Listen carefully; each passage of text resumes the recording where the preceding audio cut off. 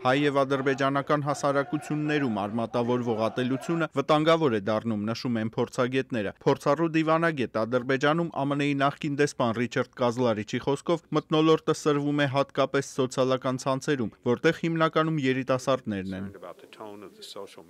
Սոցիալական ցանցերի տոնայնությունը պատերազմի է բերում։ Այսօր Հայաստանի եւ Ադրբեջանի երիտասարդ սերունդը միմյանց տեսել է միայն պատերազմի միջով։ Հայ եւ ադրբեջանցի ծնողների որդի Վաշինգտոնի Ջորջ Թաունի համասարանի դասախոս պատմաբան Միխայել Մամեդովի խոսքով սոցցանցերում ատելության աստիճանը անտանելի է դառնում։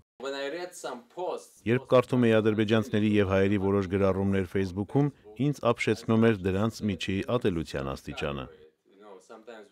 Մամեդովը, որը ներկայացնում էր իր հայրենակից ադրբեջանցի գրող Աքրամ Այլիսլիի «Քարե երազները» գիրքը, շեշտեց հասարակություններում միմյանց նկատմամբ հանդուրժողականություն սերմանելու կարևորությունը։ Իր գրքի համար, որում Այլիսլին պատմում է 1989 թվականին Բաքվում եւ 1919 թվականին Ագուլիսում հայկական ջարդերի մասին, հեղինակը հայրենի Ադրբեջանում խնդիրներ է ունեցել։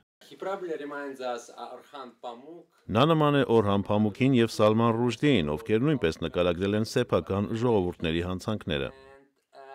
Մամեդովի խոսքով Աքրամ Այլիսլին որոշել էր գրել «Քարե երազներ» վրիպակն այն բանից հետո, երբ Ադրբեջանում ծանոթ Վարշավիրի սրահում Յուրի Գագարինի նկարը փոխարինվել էր մարդասպան Ռամիլ Սաֆարովի նկարով, այսպիսով նշելով նոր սերնդի պատկերացմամբ հերոսների դարաշրջանը։ Եթե բռնի կերպով սպանված յուրաքանչյուր հայի համար գեթ 1 մոմ վառեինք, մոմերի լույսը լուսնի լույսից պայծառ կլիներ, գրել էր այդ օրերին Աքրամ Այլիսլին։ Միևնույն ժամանակ Մամեդովն ընդգծել է, որ լավ կլիներ հայ հասարակության մեջ նույնպես լինեին Աքրամ Այլիսլիի նման գրողներ, որոնք սեր եւ հանդուրժողականություն սերմանեին ադրբեջանցիների նկատմամբ, չէ որ պատերազմի դեպքում մարդիկ սպանվում են երկու կողմից։ Արման Թարջիմանյան, Ամերիկայի ձայն, Վաշինգտոնից։